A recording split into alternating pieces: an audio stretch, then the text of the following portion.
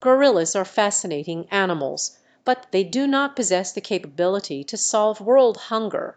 While they are intelligent and have problem solving skills, their abilities are limited to survival and adapting to their natural environment.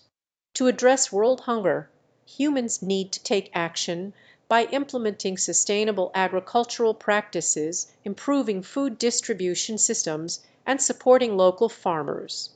Additionally, investing in education, research, and technology can help enhance food production and reduce waste. It requires the collective effort of individuals, communities, and governments to find long term solutions to this complex problem.